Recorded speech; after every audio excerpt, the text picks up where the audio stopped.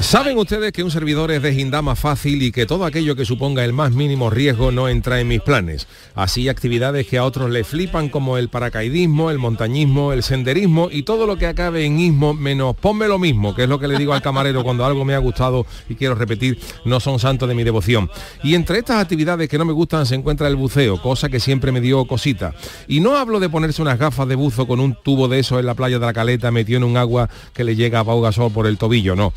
Refiero a esa gente que se pone un traje especial y baja a profundidades gordas donde está tan oscuro que hasta los pescados van con un mero guía. Hoy quiero rendir homenaje a los buzos y buceadores, también conocidos como hombres rana, que es una pena que se haya perdido esa palabra, porque hoy 7 de septiembre se celebra el Día Internacional del Buzo. El buzo es ese señor o señora que se pasa la jornada laboral metido en agua y que tiene la yema de los dedos más arrugado que la frente de un miope. Cuando un buzo se va a renovar el DNI da lo mismo que ponga el dedo impregnado de tinta o que ponga una pasa arrugada porque le van a salir las mismas huellas dactilares.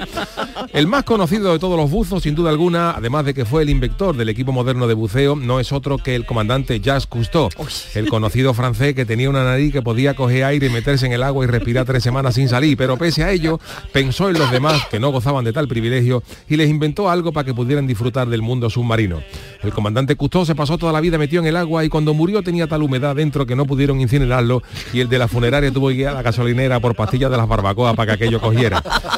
Los buzos tienen además otros problemas, como la cantidad de sal a la que están expuestos si trabajan en el mar. Hay buzos que tienen el juanelo tan salado que se han hecho un análisis de orina y el médico se lo ha echado para atrás diciendo que habían llevado un tarro con salmuera.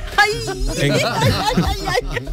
en casa de un buzo no hay problema si un puchero sale soso, porque el gachón mete el dedo en el plato 5 segundos e incluso ya hay que echarle agua para rebajarlo. Pero dentro del buceo hay varios tipos de práctica de buceo, profesional, recreativa, turística, científica y realización de actividades subacuáticas, tales como el mantenimiento de estaciones petroleras en el mar y en los muelles. Pero a todos ellos les admiro el valor, y no ya solo el de meterse en el agua, sino el simple hecho de ponerse un traje de neopreno sin complejo, porque eso nos lo ponemos Falete o yo mismo y salimos en el diario al otro día en portada. Así que feliz Día Internacional del Buzo a todos aquellos valientes que ejercen tan noble y húmeda actividad. Vaya desde el programa del Yuyu nuestro reconocimiento a tan ejemplares trabajadores y aficionados y ya si alguno nos trae al estudio algún mero algún pulpo que hayan cogido, los llevaremos siempre en nuestros corazones.